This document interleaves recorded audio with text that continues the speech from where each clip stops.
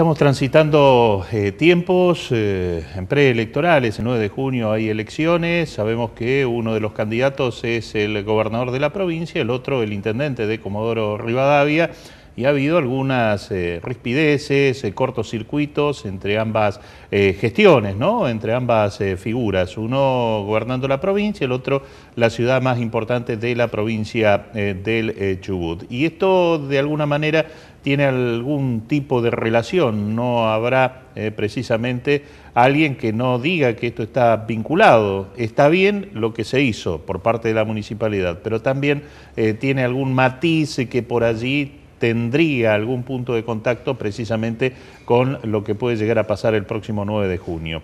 El eh, carril exclusivo para ingreso de ambulancias al hospital regional. Hoy había eh, eh, estacionada en ese lugar una camioneta, un vehículo que trasladaba enfermos con algún tipo de discapacidad desde el hospital de Sarmiento y estacionaron en ese lugar. La municipalidad que tenía a disposición la grúa secuestró el vehículo y Ricardo Murcia del área de tránsito dice que ahora tendrán que resolver desde el Ministerio de Salud de la provincia con el juzgado de faltas si se devuelve ese vehículo para que las personas que fueron trasladadas desde Sarmiento puedan ser llevadas nuevamente a su lugar de origen, la localidad de Los Lagos. Una camioneta de oficial de provincia, creo que es de discapacidad, que estaba estacionado en el carril único de para ambulancia, que está muy bien señalizado, con señalización horizontal, vertical.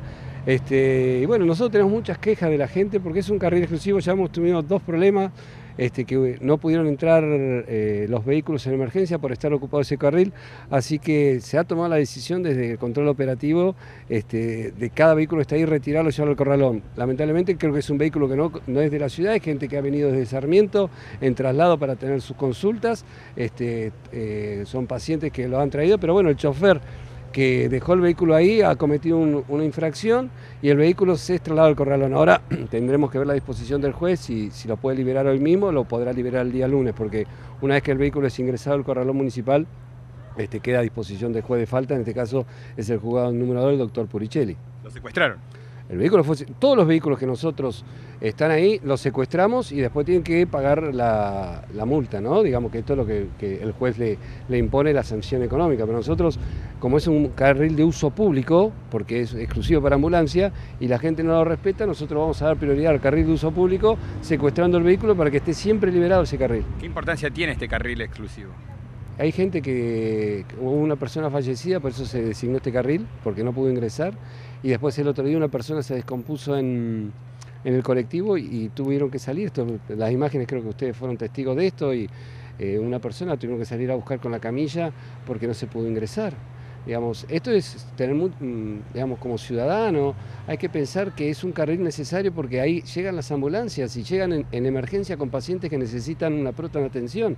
Entonces esto es no importarme el resto de la gente y acá es, estamos hablando de la vida, no estamos hablando de una falta porque tapó una entrada y salida, porque este, estacionó en doble fila, estamos hablando que gente que tiene que venir en emergencia una ambulancia con los minutos contados para llegar a una guardia y para tener las atenciones necesarias muchas veces para salvar su vida.